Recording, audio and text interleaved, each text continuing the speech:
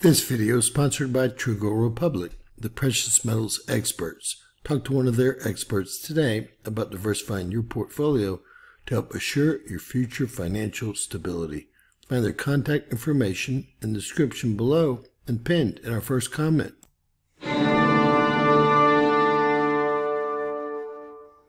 James Kaufman, World News Report today, May 6, 2024. God bless you and yours, no matter where you are in the world.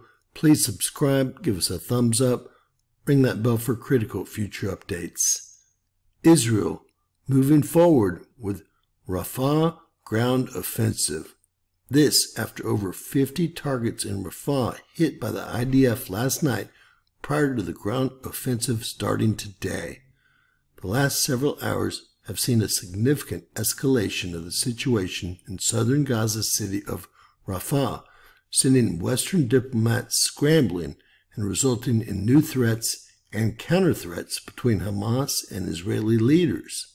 The Israeli Defense Forces, the IDF, have urged many thousands of Palestinian civilians to urgently evacuate ahead of an impending ground offensive.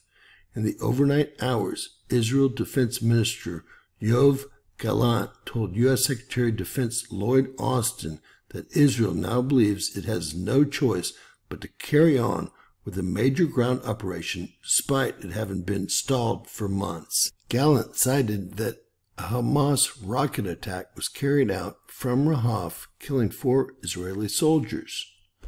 Airstrikes in eastern Rahaf have already begun, and residents and refugees there are being dropped flyers by the millions, and homes are also reportedly receiving urgent messages telling them to evacuate immediately.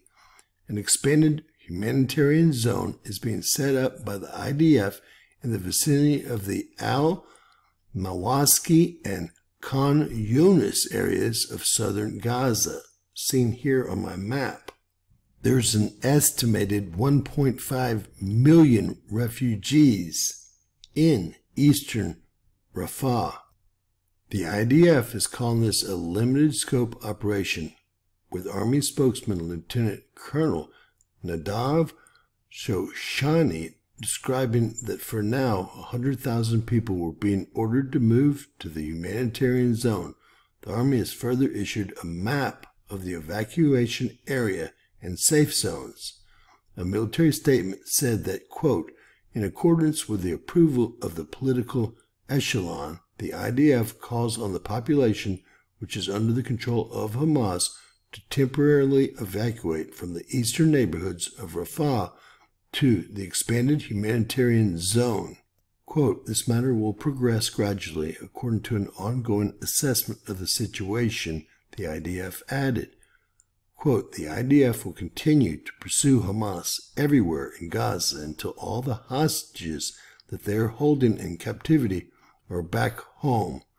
Ladies and gentlemen, that's never going to happen, and they already know that. Those hostages are long gone, as we all know.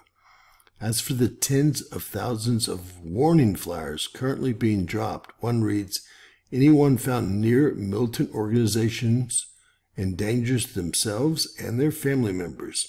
For your safety, the Army urges you to evacuate immediately to the expanded humanitarian areas.